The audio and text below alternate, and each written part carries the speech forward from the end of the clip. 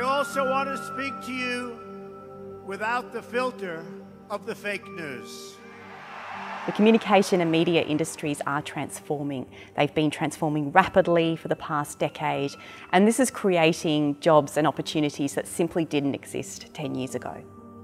Postgraduate Communication at Deakin, we have a number of courses to suit a range of student learning needs and also career objectives and course objectives. We cater to five specialisations, digital media, public relations, journalism, visual communication design and TV production.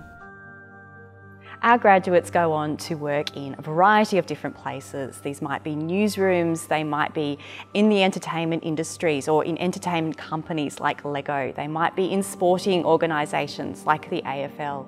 They might be in public relations agencies.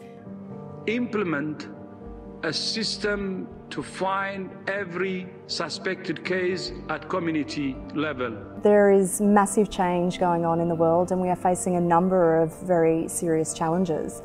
And communications is a way of addressing those challenges. I think if you can be a very clear and confident leader, if you can bring strategic thinking and creative problem solving to the table, then you've got an opportunity to actually help societies adapt to the challenges that they're facing and to be more confident in a way forward. We have a really diverse cohort within postgraduate communication here at Deakin.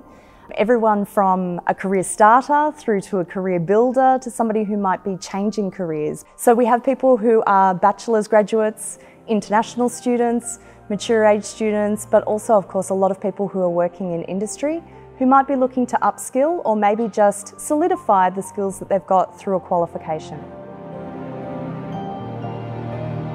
The students who study our postgraduate communication courses develop skills in problem solving, in collaboration, in storytelling, and all of these skills can help them go out and make a difference in the world and communicate in a powerful and effective way about the issues that matter to them.